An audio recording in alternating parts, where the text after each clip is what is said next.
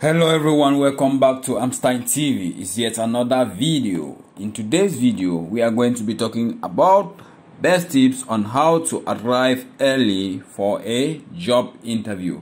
If you have an interview appointment, this is one of the key reasons that will help you secure your job or we better help you get hired. If you are new to the family, you are highly welcome and please don't forget to subscribe turn on your notification bell share the videos so that it can help others as well.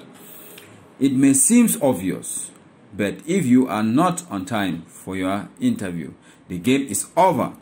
Getting there early makes a good impression on the interviewer and allows you to take a few deep breaths.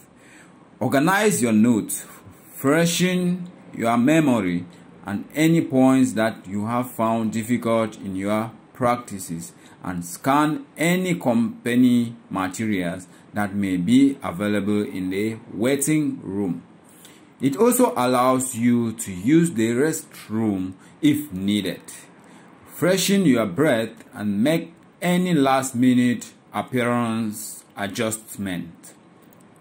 Whatever your mode of transportation, Make sure you have directions to your target organization along with a backup route in case of unexpected obstacles like traffic or a subway delay.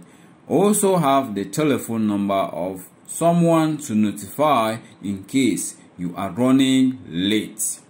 If you can perform a dry run a few days before your interview. Travel to your target organization and be sure you know how to get there to the door without getting lost.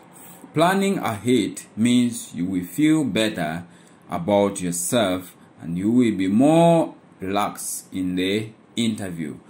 Those are the key tips, key reasons why you should arrive and how you should arrive early at your job interview. If you cannot make it to your job interview to that organization and on that particular day, please relocate and get a place closer to where you are going to be interviewed and spend the night there so that the next morning or the next afternoon will be easier for you to get to your interview location so please thanks so much for watching. If you have any query if you have any suggestion about anything that is supposed to be done to better this channel off please don't forget to hit me directly on my inbox and i will reply to you and we keep sharing. Till next video stay blessed. I love you all